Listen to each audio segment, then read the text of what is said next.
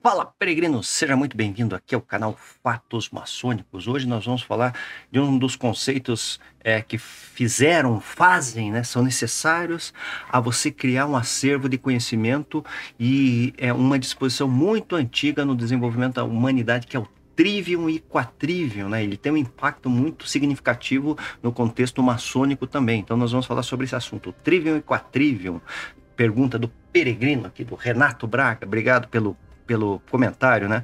Eu me chamo Luiz Miller, sou mestre maçom e faço parte da Ordem Maçônica Universal. Se você está chegando aqui agora, faça sua inscrição aqui no canal Fatos Maçônicos, né? Deixe seu like, ative as notificações, assim você fica por dentro de todos esses assuntos que orbitam a Ordem Maçônica. Convidar os, o, o convidar não, mandar um forte abraço aí aos membros aqui do canal Fatos Maçônicos, são as pessoas que ajudam no desenvolvimento desse trabalho também, né? Em contrapartida, a gente faz lives semanais aí participe dessa questão, né? tente, é, é, é, é só clicar no, no botão, né? É, é, é, a gente faz lives semanais e eu disponibilizo material muito bacana, né? Nessa, nesse lance todo. Então, pense no assunto, né? Um apoio a mais aqui ao canal Fatos Maçônicos, beleza? Você cria uma biblioteca bacana lá de conhecimento, né? Então, aqui a pergunta do Renato Braga, aqui, ó. ó Renato Braga, livro Trivium, livro Quatrivium são bons? Você recomenda? Óbvio que eu recomendo, óbvio, né? São contextos é, tradicionais, fazem parte da, do conceito das artes liberais. Até já escrevi no meu livro a tradição maçônica. Se fala de, é, foi a tradição maçônica que coloquei o, detalhadamente a questão do, do trivium e quatrivium. É um conhecimento né, que é separado, né, é um conhecimento antigo que foi é, concatenado, né, foi organizado na Idade Média e é utiliz, era utilizado em universidades e tal. Né? Então se refere à lógica, à retórica e à gramática, que é o trivium, né, e o quatrivium é a geometria, é, aritmética, é, geometria, música e astronomia. Então, o que, que acontece? Né? É, esse tipo de conhecimento era um conhecimento nós tivemos um, um, algumas questões no desenvolvimento do conhecimento da humanidade, podemos pôr desse jeito. Né? Se você pegar antigas escolas de mistério, né, academias, né, as coisas não eram tão separadas hoje como a gente tem, né, tanta especialização, tanta profundidade nos assuntos. Né?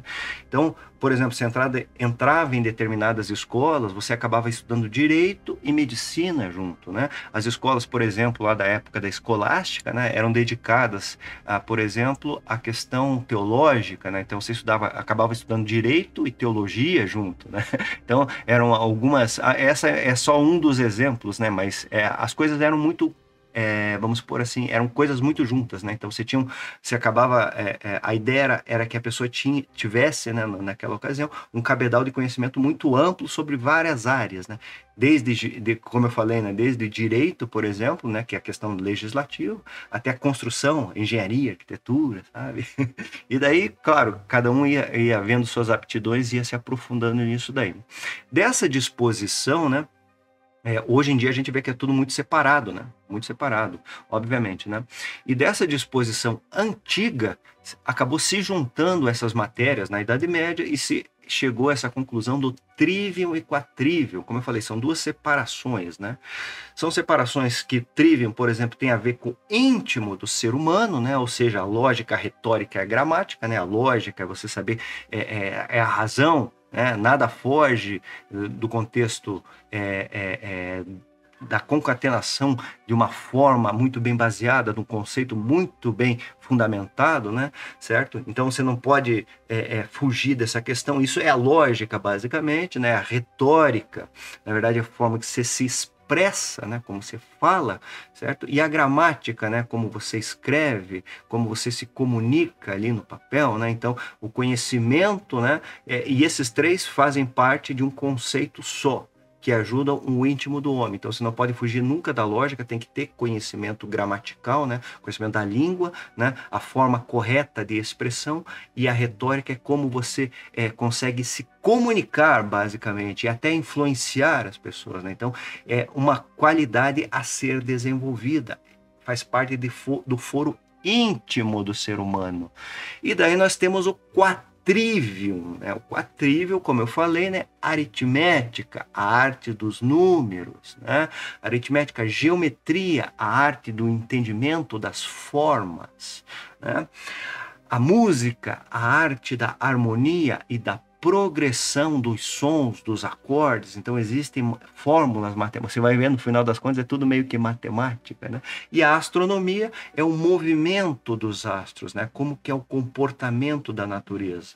Então você vai perceber que na verdade, né, o quatrivium são é, é, como é que é, é, é, é qualidades ou são, é, são, pertencem à natureza, enquanto o trivium é uma questão íntima do homem, o quatrivium tem essa qualidade, essa questão de você observar a natureza que na verdade né, nos remete ao conceito de filosofia, né, que a filosofia justamente vê esse tipo de disposição. Né?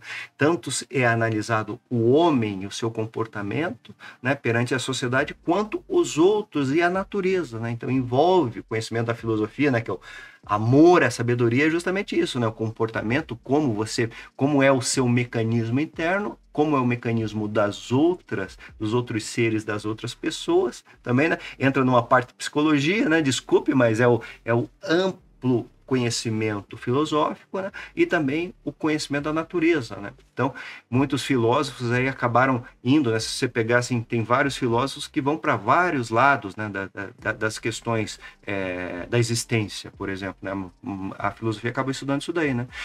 Uns muitos para o lado da matemática, né, que é a questão é, que apoia muito o, o, os conceitos, né, a matemática apoia muito. Você vê o René Descartes, por exemplo, né, que desenvolveu seus estudos e era um matemático também, entre outros, né, os, os antigos pitagóricos lá, o, o como é que é o Pitágoras, né, Pitágoras falava que tudo é número, né? Vem justamente dessa disposição. São os sábios, na verdade. Né? A gente chama filósofos, sábios, né? São sábios, né? Outros iam para a arte, para a questão da, o mais contemporâneos, né? Para a questão da política, por exemplo. Não, não, não tão contemporâneos. Sócrates, por exemplo, lidava com isso daí, né? Era antigo, né? Era antigo.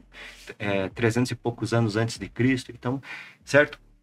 Essa questão, como eu falei aqui, na verdade vem dessa disposição aí, é, Renato certo? Desse, desse, desse é, agregar de conhecimento, de separar, e aí na Idade Média era uma questão fundamental, né, que traz a base das artes e ciências liberais, isso daí faz parte do conhecimento. Então, sim, é importantíssimo que você conheça a base fundamental, os conceitos da lógica, certo? O que, que é lógica, né? Saber muito bem o que, que é retórica, né?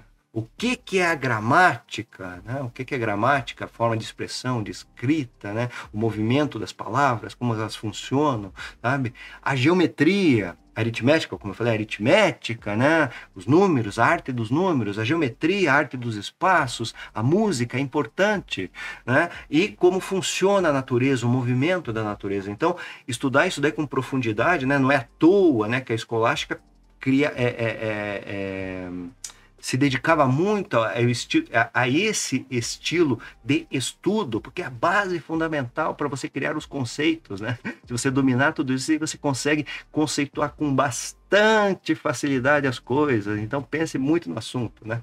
Nesse vídeo de hoje eu vou ficando por aqui. Espero ter trazido, né? E como eu falei, né, tem esse, é, essa disposição bem detalhada no meu livro a tradição maçônica, né? Tem um curso lá também, a tradição maçônica. Então, toco nesse assunto, sabe? E trago mais argumentos, né, na verdade, para criar uma base consolidada para as pessoas que acabam adquirindo esses materiais. Então, até o nosso próximo encontro, um fortíssimo e grande abraço.